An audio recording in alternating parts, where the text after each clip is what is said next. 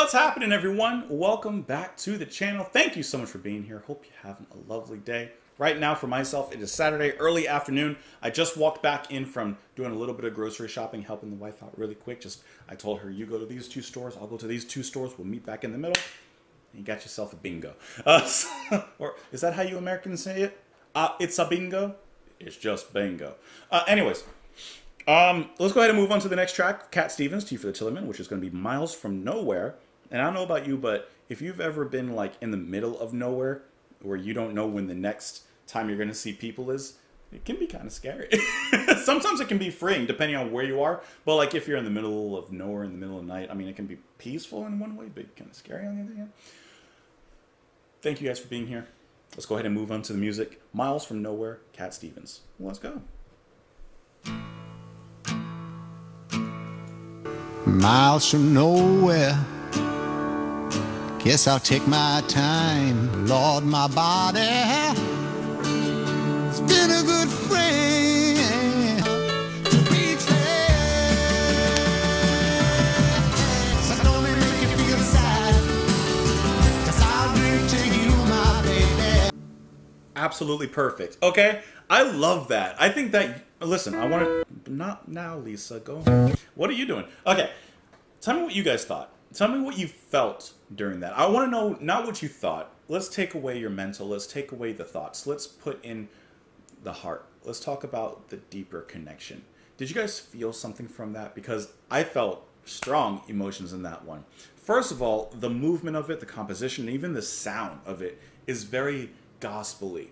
Puts me into a church, but like a cool church. Like, like I'm not calling, you know, I'm not talking like, you know, cool youth pastor, uh, or whatever it's called, church. I'm talking like just cool, you know?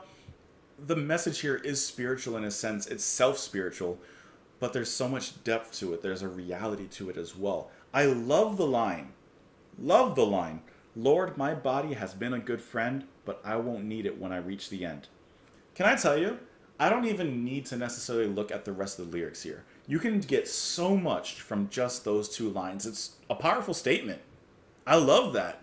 But getting back to the music itself, the piano, bop, bop, bop, bop, bop, just them jamming on the chords, uh, the drums pummeling up with it. I just really like the energy here. And like I said, it is a divine energy that I'm feeling here. But maybe, maybe less divinity, more, as I said, self spirituality. A look within yourself uh, to find your own truth and your own meaning and uh, foresee the future and where you're going to be going from there on. Because he does also describe a road, which typically is representative of life, and you know he's talking about life in this part, uh, or in this song rather, um, and where he's going from here. And even the song title, "Miles from Nowhere." Yes, in some ways he's describing a physical being in the middle of nowhere, and not knowing necessarily where he's going. But as I mentioned, he's also talking for himself in a spiritual sense. His body won't be there forever. It's been a good friend, had a good time with it, but he's looking ahead. So perhaps he's having a spiritual, I don't want to say crisis, but reflection on, you know, maybe he feels miles from nowhere spiritually. I don't know, and that's what I'm, that's what I'm kind of feeling like. He's he's looking for his next destination, but in a deeper sense, you know, more metaphysical rather than the physical. Although he does relate the two. This was a really good track. I love the way he sings out as well. He cries out uh, when he gets in that into that rapturous moment. I, it's just it feels real. This feels real to me. Miles from nowhere, guess I'll take my time, oh yeah, to reach there. Look up at the mountain I have to climb, oh yeah, to reach there. Lord, my body has been a good friend, but I won't need it when I reach the end. Miles from nowhere, guess I'll take my time to reach there. I like how he's also enjoying the journey. He's not in a rush to reach there. Now, that there, that mountain, can be the end of life. It could be death, but like I said, I think he's more thinking deeper and perhaps even after that. You know, he's not in a rush to to find the answers, to find the truth. So he's just kind of enjoying the journey. But he's thinking about that. I creep through the valleys and I grope through the woods because I know when I find it, my honey, it's going to make me feel good.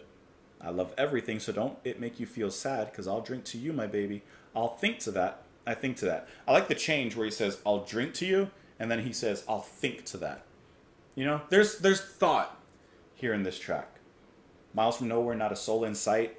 Oh yeah, but it's all right. I have my freedom. I can make my own rules, the ones that I choose. And he repeats, "The body has been a good friend."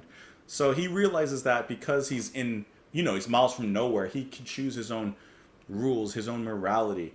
But now he's thinking ahead. He's thinking uh, to that after, that after point, and then the ending. Miles from nowhere. Guess I'll take my time. Oh yeah, to reach there.